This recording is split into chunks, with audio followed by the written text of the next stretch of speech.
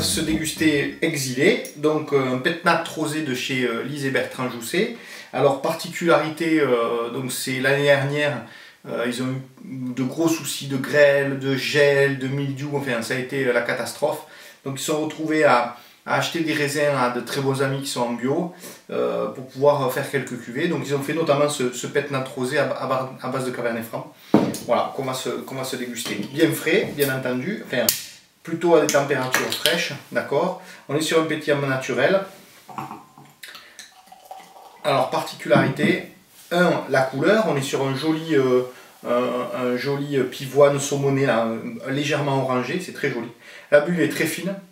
Euh, donc, comment ils font un pétnat, un naturel, un pétillant naturel? C'est simple. Ils mettent en, en bouteille, il reste encore 20 grammes de sucre et ce sont les levures qui finissent de manger ces sucres-là pour en faire un, vin effervescent. Voilà. Euh, donc on n'est pas sur les méthodes traditionnelles de champagne ou de blanquette, on est vraiment sur quelque chose de spécifique euh, vis-à-vis du pétnat.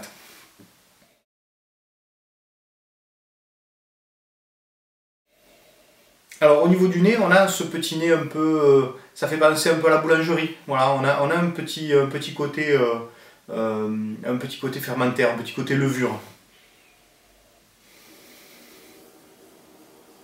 Avec du fruit, c'est très frais.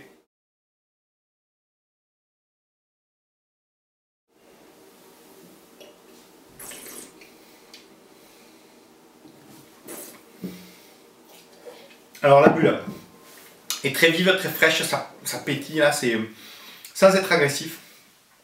La bouche est agréable, un petit peu, un tout petit peu asséchant, mais juste ce qu'il faut. C'est désaltérant et, euh, et c'est frais, ça donne envie de retaper dedans. C'est vraiment, euh, comme, comme ils le disent eux-mêmes, un excellent indice de picolabilité. Donc là, c'est vraiment euh, sympa. Alors ça, c'est hyper simple, hein, c'est à l'apéro.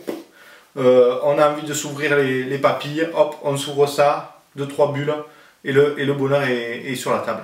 Bonne dégustation à vous.